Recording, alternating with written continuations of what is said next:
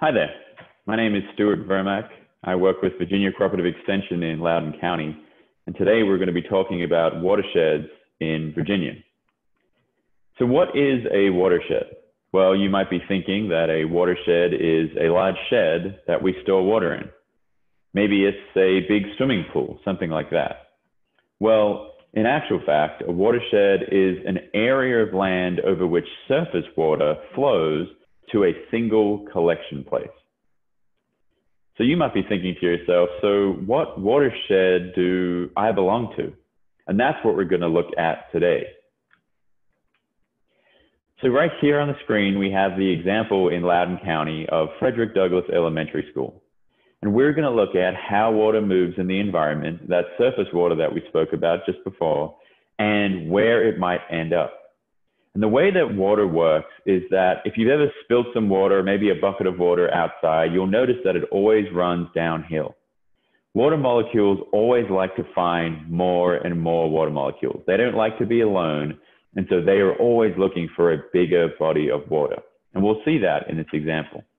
So here at Frederick Douglass School, we don't have to go very far to find a moving body of water. It's really important that it's moving. And that's the difference between, let's say, a creek or a river and a pond. A pond is not moving at all. And so looking here at this moving body of water, Tuscarora Creek. So if we continue to go with this creek and move along, let's see where it takes us. So if we move with Tuscarora Creek, we continue to move down, eventually it is going to meet up with a larger body of water. What kind of water body do you think it might be? It's going to be bigger than a creek. All right, we found one.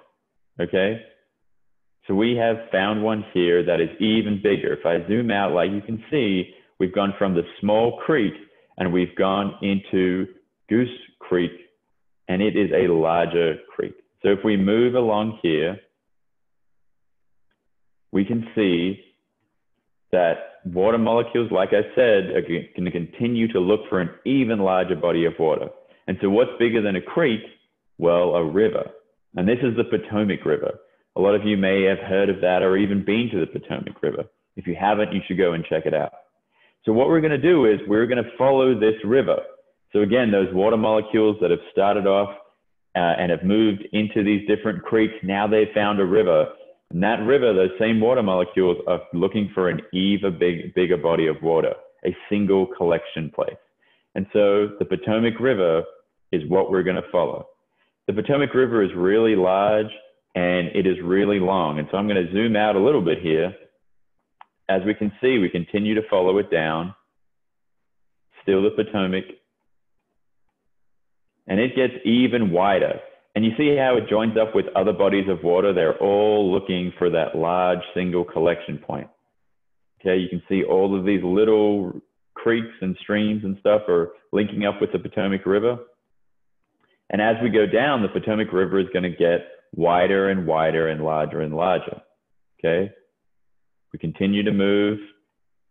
We continue to follow the Potomac River until eventually the Potomac River dumps us out here at the Chesapeake Bay.